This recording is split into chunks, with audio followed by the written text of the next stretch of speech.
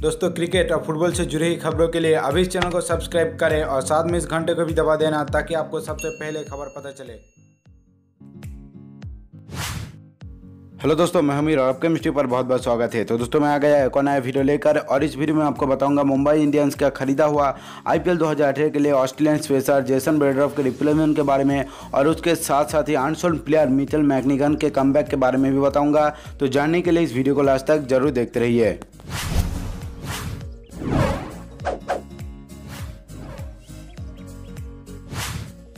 तो दोस्तों, आपको तो शायद पता होगा कि ऑस्ट्रेलियन स्पेसर जेसन ब्रेंड्रॉफ को मुंबई इंडियंस ने ऑक्शन में से 1.5 करोड़ देकर आईपीएल 2018 के लिए खरीदा था।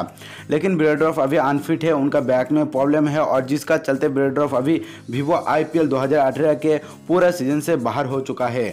और इसीलिए आईपीएल टेक्निकल कमेटी ने प्लेयर रेगुलेशन के मुताबिक मुंबई इंडियंस को ब्रेड्रॉफ के रिप्लेसमेंट में एक नया खिलाड़ी लेने का मौका दे दिया है। Mumbai Indians registered and available player pool में से किसी भी खिलाड़ी को अपने टीम में अभी शामिल कर सकता है। और इसी के चलते मुंबई इंडियंस ने न्यूजीलैंड के फास्ट बॉलर मिचल मैकलिगन को अपने टीम में शामिल कर लिया है। उनके बेस्ट प्राइस एक करोड़ देकर, as a replacement of Jason Behrendorff. दोस्तों मैं आपको बता देता हूँ कि मिचल मैकलिगन इससे पहले मुंबई इंडियन की तरफ़ से 2015, 2016 और 2017 आईपीएल भी खेल चुके हैं। और 2017 में तो मुंबई इंडियंस का चैंपियन बनने में इनका बहुत बड़ा योगदान था। इन्होंने 14 मैचों में 19 विकेट लिया था छब्बीस पॉइंट अड़सठ एवरेज से। आईपीएल में इनका बहुत बड़ा एक्सपीरियंस है और ऑक्शन से पहले ऐसा लग रहा था कि मुंबई इंडियंस इनको भी रिटर्न कर सकता है। तो मुंबई इंडियंस की तरफ़ से खेलते हुए भारत में इनका बहुत बड़ा फ़ैन फॉलोइंग बन गया है।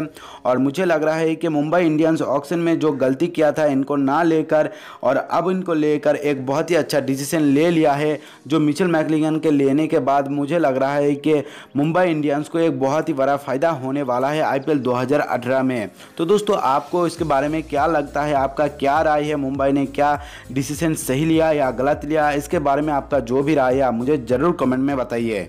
तो दोस्तों, इस वीडियो में बस इतना ही। आपको बहुत बहुत शुक्रिया टाइम निकल के इस वीडियो को देखने के लिए। अगर आपको वीडियो अच्छा लगे तो लाइक ज़रूर कर देना और अपने दोस्तों से ज़रूर शेयर करना, ताकि उनको भी इस तरह के खबरों के बारे में पता चले। और आप मुझे ज़रूर सोशल मीडिया पर फॉलो कीजिए, क्योंकि वहाँ पर मैं लगातार न्यूज़ अपडेट देता रहता हूँ। लिंक डिस्क्रिप्शन पर है।